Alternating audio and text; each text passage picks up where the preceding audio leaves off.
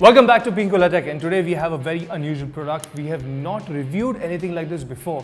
It's a 4K webcam from Globus and the reason why we have this is we're not only thinking of this as a practical aspect from video conferencing or education point of view, but we are also thinking from the point of view this is the first camera that we have or this is the first product on this channel which is made in India and I feel this is very important that we also focus on the products that are being developed in India now. So this is Aurelius here from Pinkvilla Tech and let's start off with this video for the Globus 4K camera. Now Globus as a company makes many multimedia conferences devices. They have multimedia displays, interactive displays which are touchscreen and you can interact with it while you're giving a presentation. They also have mechanical cameras which will track people while they are having a conference on and track even the audio. So they have array mics for their cameras. This one here is a far more compact of those devices. It does not have any moving parts. It's a 4K resolution camera and it's got an automated voice tracking. It also tracks the subject or the person who is having the conversation right now with a very advanced AI. Some of the features that it has is, for example, if I turn my back towards the camera and there's somebody else who's talking, it will focus on the other person. But if I'm looking at the camera directly and addressing the conference or the camera directly, it will completely stay focused on me. It also, if there are multiple people who are in the room who are having a conversation with the camera, it will track that person's voice. That's a very neat feature. Apart from that, it has a field of view of 112 degrees. That's a good enough view in case you want to crop in, especially when the camera tracks into the subject, that field of view comes really very important. The only drawback with that field of view is there's somebody sitting at the corner of the field of view, then that person has a very very cross-section view or it looks, it gives that fisheye effect and it doesn't really feel normal. But that's quite expected and I think with further software updates, this will improve on the camera. So from the point of view of conferencing, this is good. Like 4K video output from a webcam which can stream in directly with a Type-C connection, that's a very neat future ready technology that we already have at our disposal. But can we really use this camera for streaming as well? Now we have connected this to our OBS that we use for streaming on a regular basis. And the kind of feed that I'm looking at right now, also when I'm moving around and it's tracking, it's just brilliant. It's, I'm just happy to see something that is tracking me so actively. The only other place that I've seen something like this actively tracking me is in Apple's iPad. It's called the center stage uh, feature. And to see something like this happen without an Apple iPad which can track me and I can use this on my Windows computer for my normal conference calls. I can include a heap of crowd to do this. To give you an example, I'm going to call my friends here, Aditya and Siddharthji, and we're going to see how well the camera tracks us while each of us have an interaction with the camera or just turn our faces around. Let's try this out. What's up, Ori? This is Aditya. Hey man, hey guys.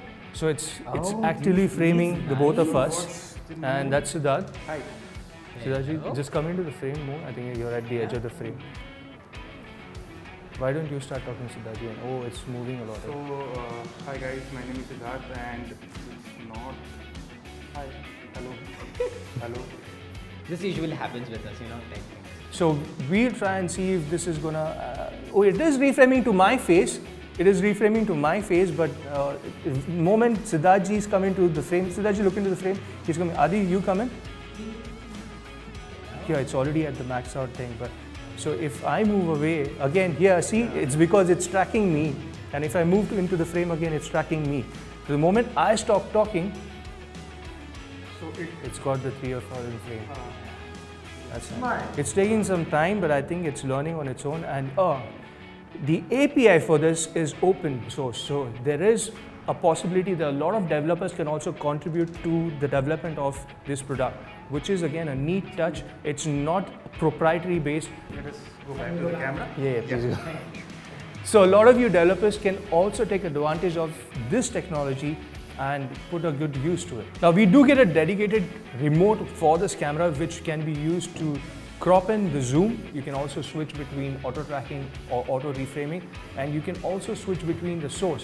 Now when we tried it with Siddharth and Aditya in the frame, we did have a little bit of wonkiness to the camera when it had trouble focusing on which is. Now we are in the studio, it's a closed environment, so maybe the voice is bouncing up, but it did pick up my voice eventually and it started tracking me. Right now, when I'm alone here, if I move away from the camera, it's zooming in to me, it's zooming into my source of voice. If I move close to the camera, it zooms out. But with the remote, I can put that off and I can set it to a frame, maybe zoom in and keep it to a particular person. Or you can also switch between a source, which is a neat trick to have, especially when you don't want somebody to interrupt a conference and also have a seamless experience to it. That being said, this is also a neat feature when you want to use this camera for directly streaming or your live streaming for games. We are used to using our webcams, so most of them also use high-end DSLR cameras. But if you have something like this or a Globus 4K camera which can auto frame you, also give you an output which is not exactly DSLR like, but which is very close with not that depth of field, but any which ways, we have a green screen going on in the background and we mostly blur out what's going on in the background. This would be a much more cheaper device to have than a proper full-fledged DSLR camera. To summarize this video, I feel that there is a lot of potential in companies that are there in India right now who are developing products like this. And Globus as a company is doing a very good job in developing products as such as these. This will directly benefit the education industry like because of pandemic we have moved to our computers and digital sources for education and this is one of the necessary things that made in India are cheaper and they deliver. This is Aurelius from Pinkvilla Tech signing off. For more such tech related reviews, stay tuned to us, like and subscribe and if there's anything particular that you guys would like us to cover, do leave us a comment. Have a good evening ahead.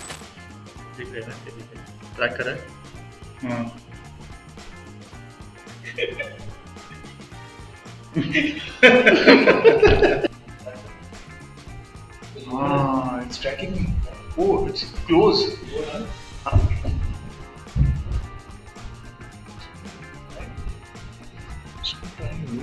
What oh, is this? Are you tracking me? Oh, पहली bar, bro. See? Mm, you're being very partial. Yeah. yeah.